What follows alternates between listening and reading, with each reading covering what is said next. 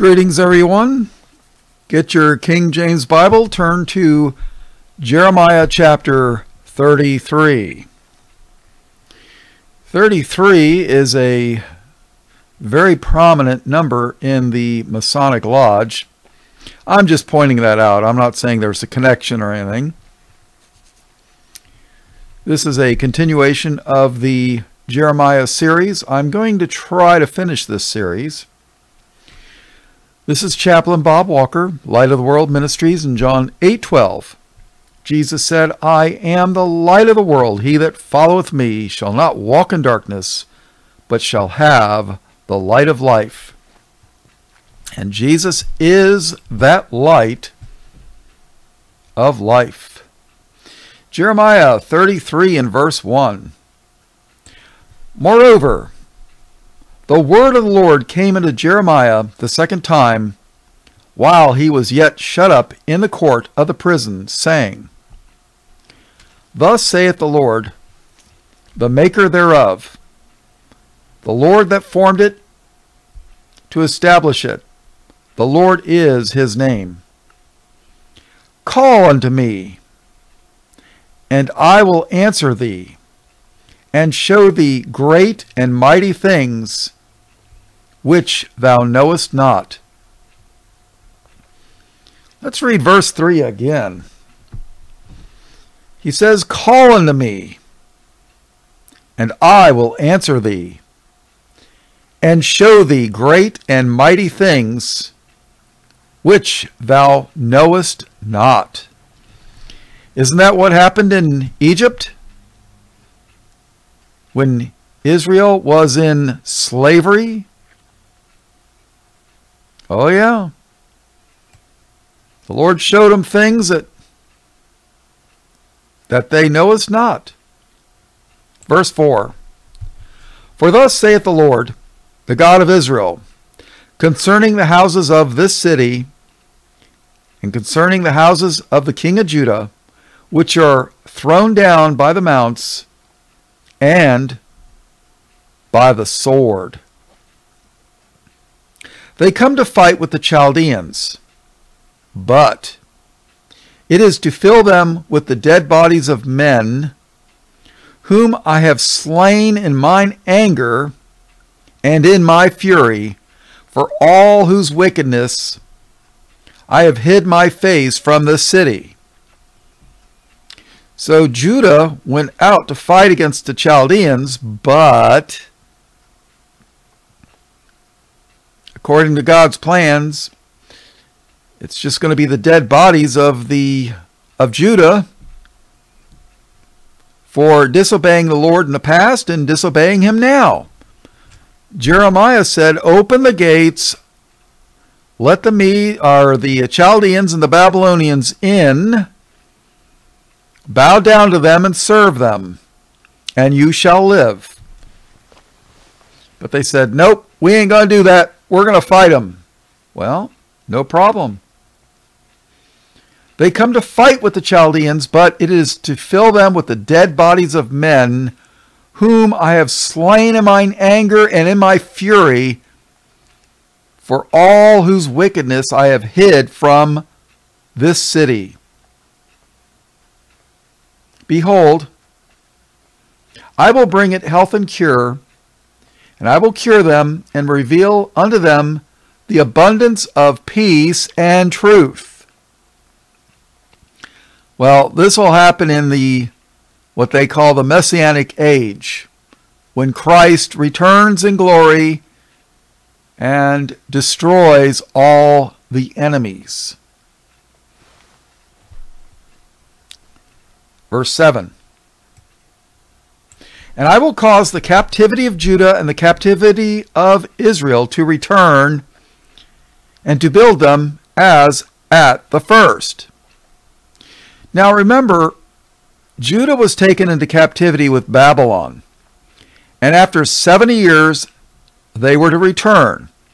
The Medes and the Persians conquered Babylon and allowed Judah to return to Jerusalem. You can read about this in the books of Ezra and the books of Nehemiah. However, A number of years prior to that, northern Israel, whose capital was Samaria, was taken capital by the Assyrians. They never returned to the land. At least not generally most of them. The great majority never returned to the land, per the Bible. I mean, there might have been a few individuals, but um, the Bible does not say that Israel ever returned to their land. So, verse 7 has to be the future. And I will cause the captivity of Judah and the captivity of Israel to return, and will build them as at the first. And who is this I? Well, this I is not the United Nations in 1948. No, that I is the Lord. Verse 8 And I will cleanse them from all their iniquity, whereby they have sinned against me, and I will pardon all their iniquities whereby they have sinned, and whereby they have transgressed against me. Well, that was the purpose of why Christ came to the earth. Let's read verse 8 again. And I will cleanse them from all their iniquity whereby they have sinned against me, and I will pardon all their iniquities whereby they have sinned, and whereby they have transgressed against me. Hmm. Let's go to the book of Zechariah. Z E C H A R I A H. He was considered a minor prophet, not because of the importance of the message, but rather minor because of the size. Jeremiah, Isaiah, Ezekiel were much, much larger books. That's why Obadiah, Zechariah, Zephaniah, uh, Jonah, I think Jonah, maybe maybe Jonah, maybe not. Amos, Nahum were considered minor prophets because their their messages were rather short, but to the point. Zechariah chapter 3, verse 1. And he showed me Joshua the high priest, standing before the angel of the Lord, and Satan standing at his right hand to resist him. Ah. And the Lord said unto Satan, The Lord rebuke thee, O Satan. Even the Lord that hath chosen Jerusalem rebuke thee. Is not this a brand plucked out of a fire?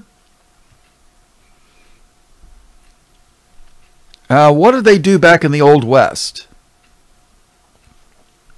Didn't they used to take cattle and put a brand on them as a mark of ownership? You know, they'd put it in the fire and then they would stick it on the rear end of the cattle and that would be your brand. I mean, don't they even call, uh, you know, companies? Oh, yeah, you know, uh, what's a band aid? A band aid is a brand. A bandage is not a band aid, but band aid is so famous that everybody thinks, oh, a band aid. Uh, you know, they think a bandage. You know, that's you know, and when you think of Aunt Jemima, you think of pancakes and uh, syrup.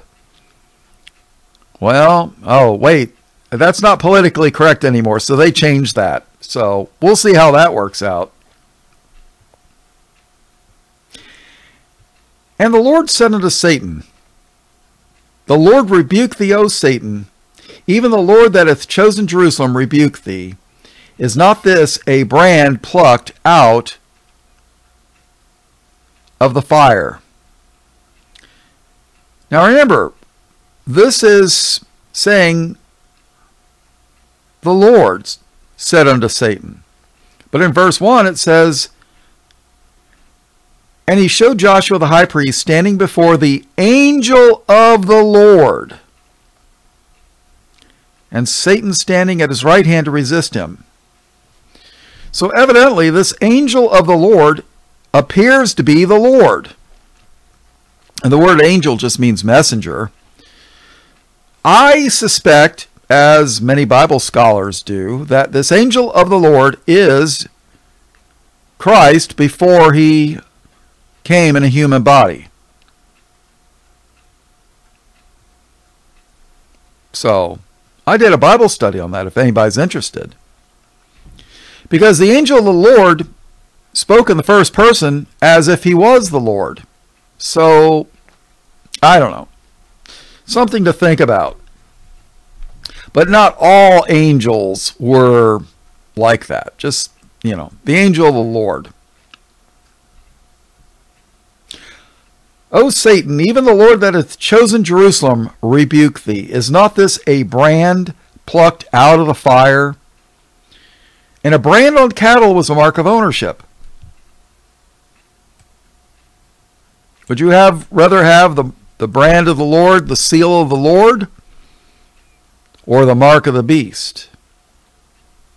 Verse 3 Now Joshua was clothed with filthy garments and stood before the angel. And he answered and spake unto those that stood before him, saying, Take away the filthy garments from him. And unto him he said, Behold, I have caused thine iniquity to pass from thee. God caused his sin to pass from him. Behold, I have caused thine iniquity to pass from thee, and I will clothe thee with a change of raiment, clothing. Verse 5. And I said, Let them set a fair mitre upon his head. So they set a fair mitre upon his head. Uh, it's a type of religious hat, people. So they set a fair mitre upon his head and clothed him with garments. And the angel of the Lord stood by. And the angel of the Lord protested unto Joshua, saying, Thus saith the Lord of hosts, if, if thou wilt walk in my ways, and if thou wilt keep my charge, then thou shalt also judge my house, and shalt also keep my courts, and I will give thee places to walk among these that stand by. Hear now, O Joshua the high priest, thou and thy fellows that sit before me, for they are men wondered at, for behold, I will bring forth my servant, the branch.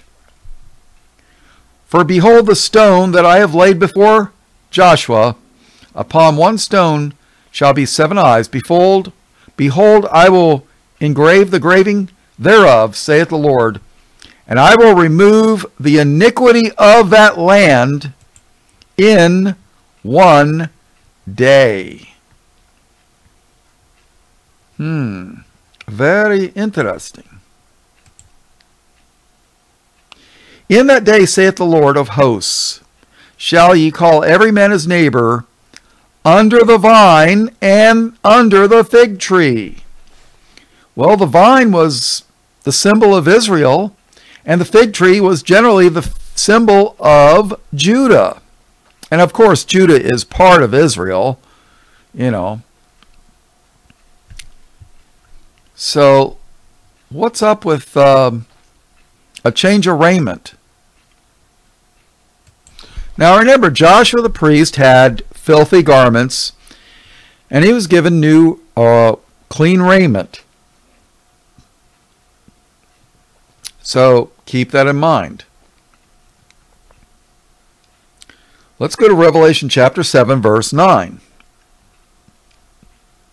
After this I beheld, and lo, a great multitude, which no man could number, of all nations and kindreds and people and tongues, stood before the throne and before the Lamb, clothed with white robes and palms in their hands, and cried with a loud voice, saying, Salvation to our God, which sitteth upon the throne, and unto the Lamb. And all the angels stood round about the throne, and about the elders and the four beasts, and fell before the thrones on their faces and worshipped God, saying, Amen, blessing and glory and wisdom and thanksgiving and honor and power and might be unto our God for ever and ever. Amen. And one of the elders answered, saying unto me, What are these which are arrayed in white robes? And whence came they? So, you know, basically, who are these that are clothed with these white robes and where did they come from? Well, that would be the Bob translation. Verse 14 And I said unto him, Sir, thou knowest. Oh, hey, dude, you know the answer to that, you know. And he said unto me, These are they which came out of great tribulation and have washed their robes and made them white in the blood of the Lamb. How did they get clean white clothing? They had to wash them white in the blood of the Lamb.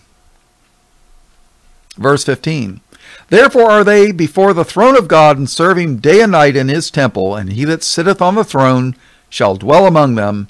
They shall hunger no more, neither thirst any more, neither shall the sun light on them, nor any heat. For the Lamb which is in the midst of the throne shall feed them, and shall lead them unto living fountains of waters. And God shall wipe away all tears from their eyes. All right, let's go to the book of Hebrews, chapter 10. Uh, the book of Hebrews is, uh, I believe, purposely didn't tell you who the author is. But whoever wrote the book of Hebrew, of course, of course, it's, you know, the Holy Spirit, by inspiration of the Holy Spirit. But uh, whoever wrote the book of Hebrews, under the inspiration of the Holy Spirit, of course, had a extensive knowledge of the Old Testament and specifically the book of Leviticus. Anybody that studies the book of Leviticus uh, should read the book of Hebrews in conjunction, you know, maybe before or after, either way. But in um, my commentary on Jeremiah 31, where I talk about the new covenant, well, the Bible talks about the new covenant. So let's go to Hebrews chapter 10 and verse 16. Hebrews 10 16. This is the covenant that I will make with them after those days, saith the Lord. I will put my laws into their hearts, and in their minds will I write them and their sins and iniquities will I remember no more. Now, a remission of these is there is no more offering for sin. You know, you don't need to do an offering for sin every single day because it was paid in full by Christ on the cross. Jesus said, It is finished.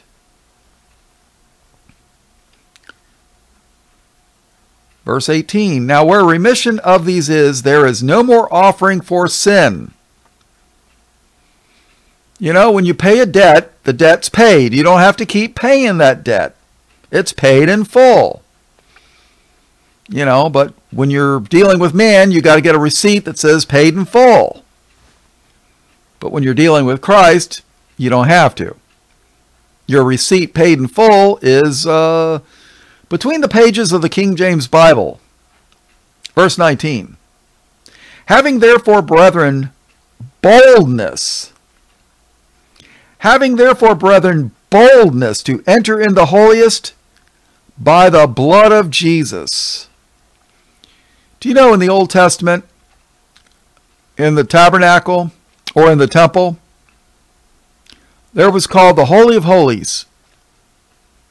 It's where the mercy seat was. The high priest, once a day, I mean once a year, I believe on the Day of Atonement, would have to go in with blood. If he didn't enter with, if he went in there on another day or without blood, I believe he would die. Matter of fact, if he was unworthy, possible the Lord would kill him. According to what I've read, legend, they would tie a rope around his ankle so that if he did die, they could drag him out without having to go in there. Because anybody went into the Holy of Holies, now they weren't authorized. Well, there was a penalty to pay. I, from what I understand. But with the blood of Christ, verse 19, it says, Having therefore, brethren, boldness to enter into the holiest by the blood of Jesus by a new and living way which he hath consecrated for us through the veil, that is to say, his flesh. Remember when Christ died, the veil of the temple ripped from the top to the bottom, from heaven to earth. Verse 21 And having an high priest over the house of God, let us draw near with a true heart in full assurance of faith, having our hearts sprinkled from an evil conscience, conscience, and our bodies washed with pure water. Let us hold fast to profession of our faith without favor, wavering, for he is faithful that promised. And let us consider one another to provoke unto love and to good works So in verse 23, he says, Let us hold fast, hold strong the profession of our faith without wavering, for he is faithful that promised. And let us consider one another to, provoke unto love and to good works. See, good works always follows faith. Read James chapter 2. James even said that faith without works is dead being alone. Works are proof you're in the faith. I mean, that's just the way it goes. I mean, if you have good works and you're obedient to the Lord, there's uh, idiots out there that'll say, oh, well, you're one of those lordship salvation people. Oh, you're trying to earn your salvation by being obedient and keeping the law and uh, doing good works. And then they'll show you how great their faith is by uh, being disobedient and not doing anything worthy of the name of Christ. Well, Lord might have another place for those people. I don't know. He's going to make that decision. Uh, not me, but Read James chapter 2. Yeah. See, those kind of people turn grace into a license to sin.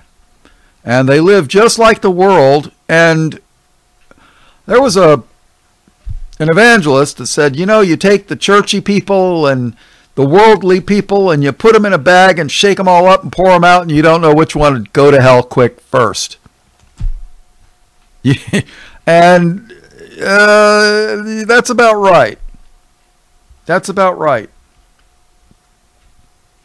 So let us consider one another to provoke unto love and to good works, not forsaking the assembling of ourselves together.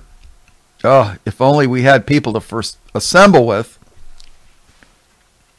Not forsaking the assembling of ourselves together, as the manner of some is, but exhorting one another, and so much the more as ye see the day approaching.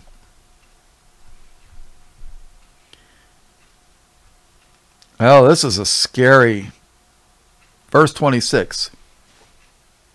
For if we sin wilfully, after that we have received the knowledge of the truth, there remaineth no more sacrifice for sins, but a certain fearful looking for of judgment and fiery indignation, which shall devour the adversaries.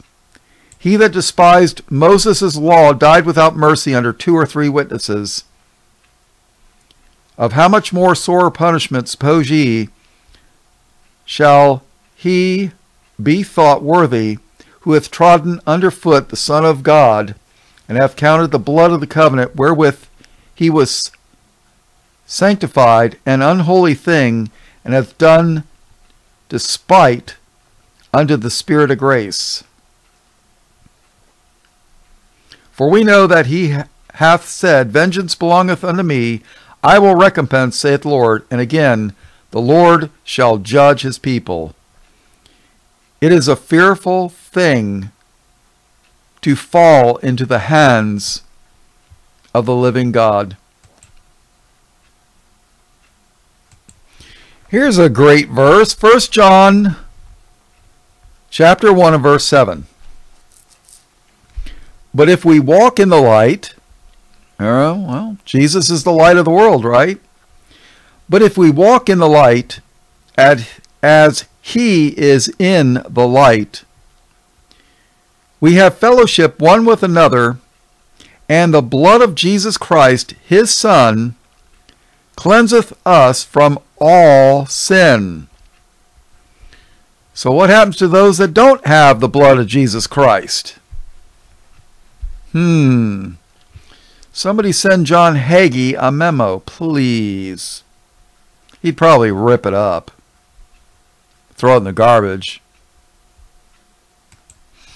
All right, hit, let's hit Ephesians chapter 5.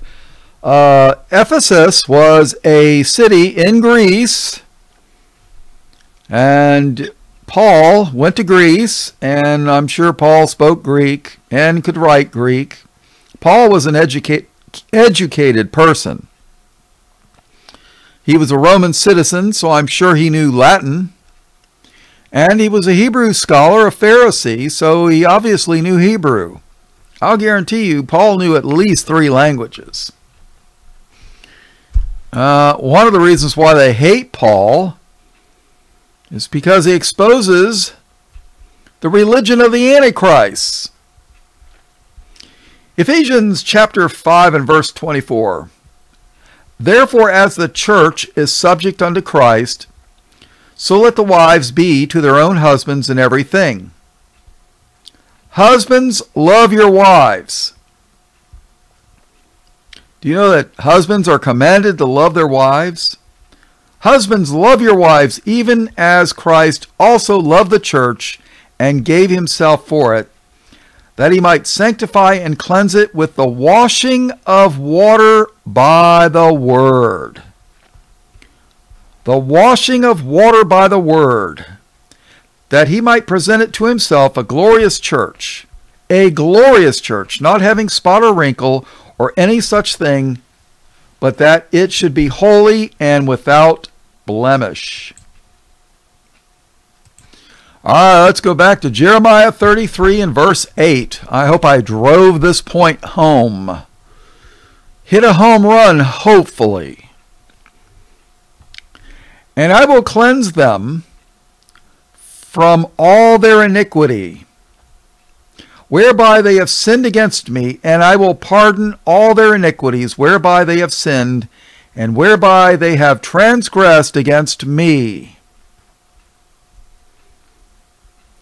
Verse 9 And it shall be to me a name of joy, a praise, and an honor before all the nations of the earth, which shall hear all the good that I do unto them and they shall fear and tremble for all the goodness and for all the prosperity that I will procure unto it.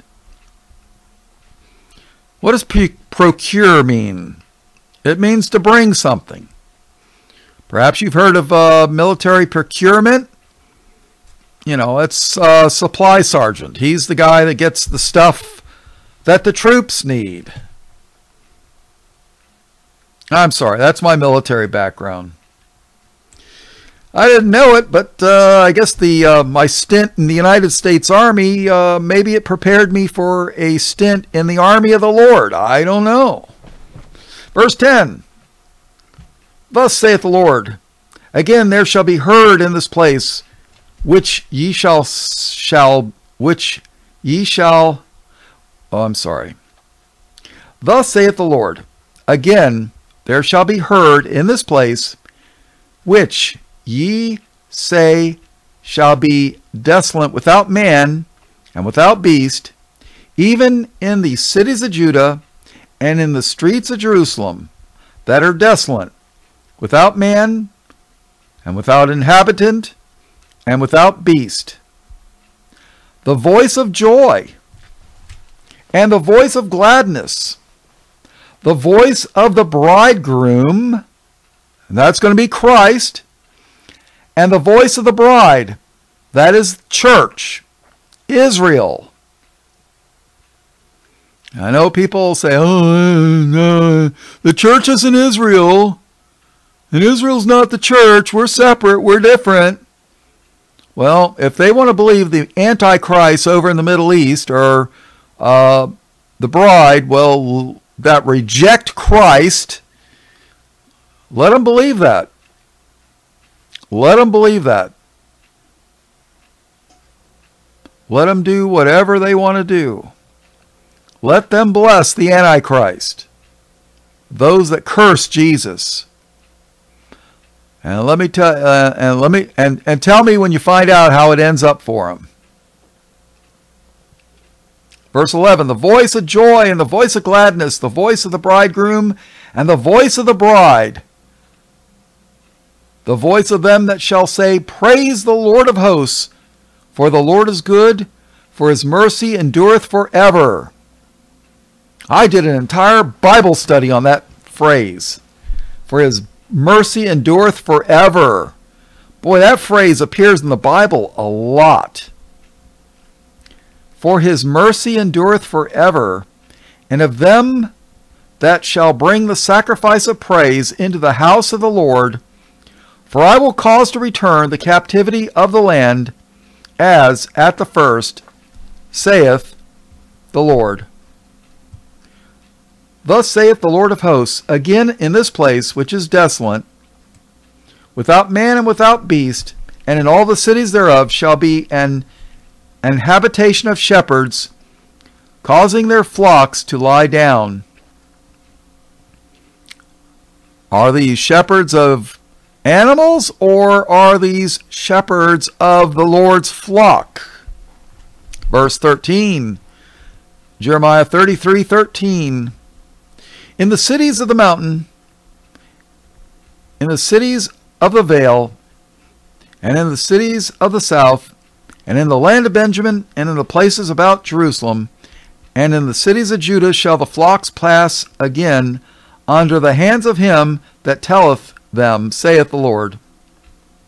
Behold, the days come, saith the Lord, that I will perform, that I will perform that good thing which I have promised unto the house of Israel and to the house of Judah. Two separate houses, people, but they will become one under Christ. Uh, let me prove that. Another reason why they hate Paul. Galatians chapter 3, verse 26. For ye are all the children of God by faith in Christ Jesus. Do the you know who's have faith in Christ Jesus? So how can they be the children of God? For ye are all the children of God by faith in Christ Jesus. For as many of you as have been baptized into Christ have put on Christ. There is neither Jew nor Greek. There is neither bond nor free. There is neither male nor female, for ye are all one in Christ Jesus.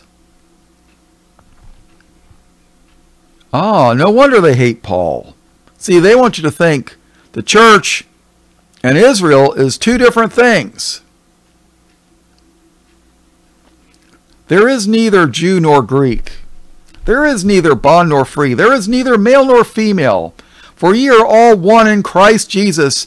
And if ye be Christ, then are ye Abraham's seed and heirs according to the promise. It doesn't say you become or spiritual seed like they love to tell you. No, it says, and if ye be Christ, then are ye. You know, if you belong to Christ, you are Abraham's seed. That's what it says. Oh no, Chaplain Bob, you got it all mixed up. We become the spiritual seed. We become, yeah.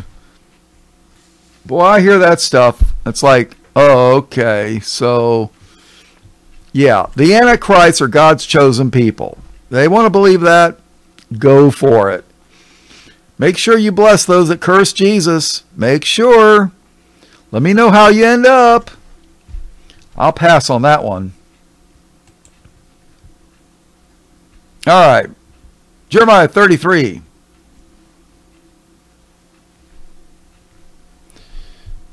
Verse 15 In those days and at that time will I cause the branch of righteousness to grow up unto David, and he shall execute judgment and righteousness in the land.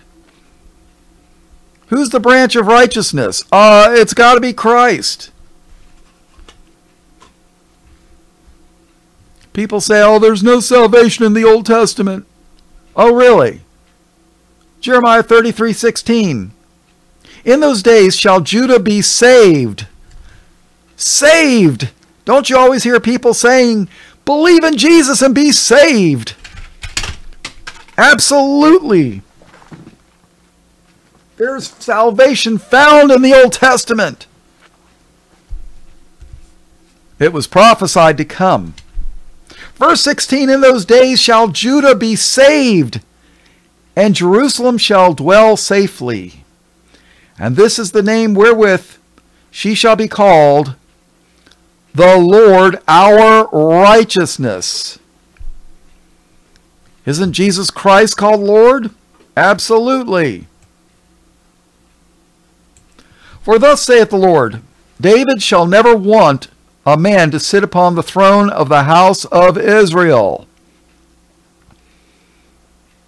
In other words, David will never be lacking to have one of his descendants sitting upon the throne of the house of, of Israel. King David. Uh, wasn't Christ from the line of David from Judah? Uh, yeah. Verse 18 Neither shall the priests, the Levites, want a man before me to offer burnt offerings and to kindle meat offerings and to do sacrifice continually. Verse 19 And the word of the Lord came unto Jeremiah, saying, Thus saith the Lord, If a man can break my covenant of the day and my covenant of the night, that there should be there oh I'm sorry, and that there should not be day and night in their season. Then may also my covenant be broken with David. In other words, as long as there's a sun in the sky during the day and a moon in the sky at night, God's covenant with David will always be in force.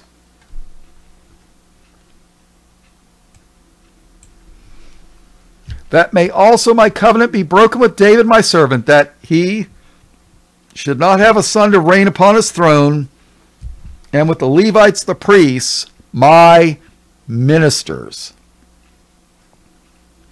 As the hosts of heaven cannot be numbered, neither the sand of the sea measured. so will I multiply the seed of David my servant, and the Levites that minister unto me. Moreover, the word of the Lord came to Jeremiah, saying, Verse 24 Considerest thou not what this people have spoken, saying, The two families which the Lord hath chosen, he hath even cast them off? Thus they have despised my people, that they should be no more a nation before them. Thus saith the Lord, If my covenant be not with day and night, and if I have not appointed the ordinances of heaven and earth, then will I cast away the seed of Jacob and David my servant, so that I will not take any of his seed to be rulers over the seed of Abraham, Isaac, and Jacob. For I will cause their captivity to return and have mercy on them. Who's the seed of Jacob? Remember, Jacob's name was changed to Israel. So there you have it, people. Jeremiah chapter 33. All blessings, praise, glory, and honor to God the Father and His only begotten Son, Jesus, who is the Christ, the Lamb of God slain from the foundation of the world. All blessings, praise, glory, and honor in Jesus' name. Amen.